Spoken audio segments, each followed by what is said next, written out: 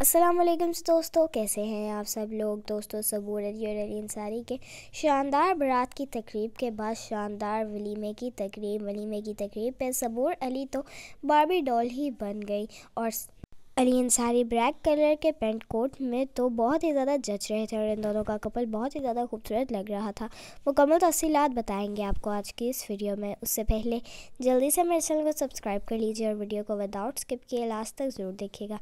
दोस्तों, जैसा कि आप जानते हैं कि दुल्हन ने अपने वलीमे पर बिल्कुल ब्राइड की तरह ही तैयार होती है, लेकिन सबूर अली इन सबसे डिफरेंट लग रहे थे। उन्होंने बहुत खूबसूरत और डिफरेंट कपड़ों का इंतखब किया और स्काई ब्लू मैक्सी में तो ये माशाल्लाह से बहुत ही ज़्यादा खूबसूरत लग रही थी।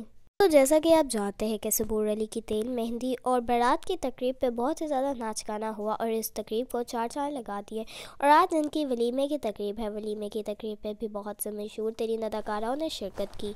दोस्तों, सबूर अली और अली अंसारी की वलीमे की तकरीब भी बाकी तकरीबों की तरह बहुत ही ज़्यादा शानदार थी।